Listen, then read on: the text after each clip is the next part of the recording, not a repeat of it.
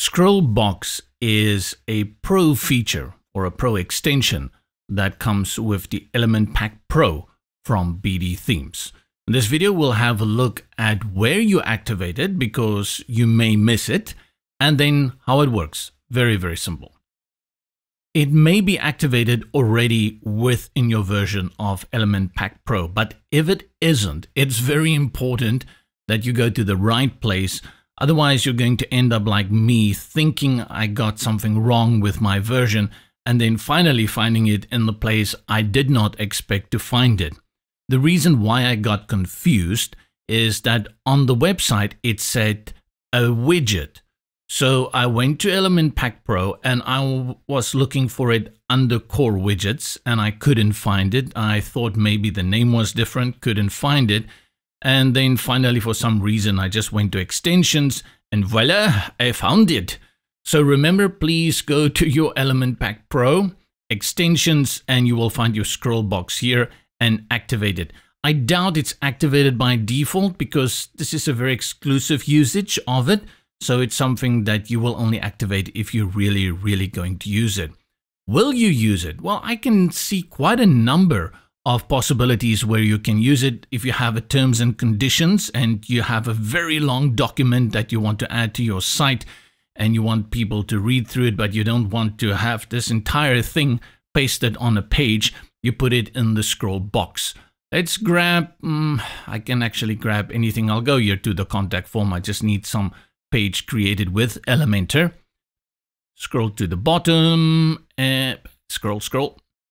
And then here in our widgets pane, I will just simply type in scroll. And I won't find it because remember I told you it's not a widget, it's an extension, still in that habit. What you do is you grab the text editor and this is where you're going to find the scroll box extension. Click hold and drag and drop it, and then you get your normal text editor. What I will do in this case is just bring in some text. I like to go to the Project Gutenberg where you get the text from the books that are in the public domain. And this one is from Mary Wollstonecraft Shelley, famous Frankenstein. Grab a load of text here for us and then copy that. Let's go back Select the text here in the editor. Control Command V to paste that. Now we've got all the text. Now again, it may be that you don't really care about having all of this text on the page and the idea is actually for people to scroll. But if you think of the terms and conditions, those kind of legal documents, often it's just a small little area here and then you scroll, scroll, scroll here with the scroll bar on the right and that's what the scroll box is going to do for you. To activate the scroll box and turn this text widget into a scroll box widget, go to Style, and you will see here in the editor on the left, scroll box, select, and then activate. And it turns it immediately into the scroll box.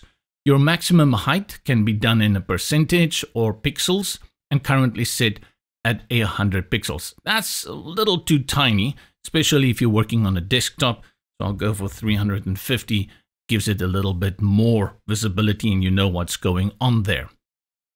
Important here is that you will have to go and have a look on tablet and then also have a look on your mobile device.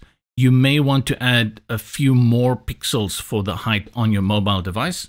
Let's just do that for good measure. I'll put it on 450 and then you can see, you can cycle through the different responsive views, and indeed, they are responsive.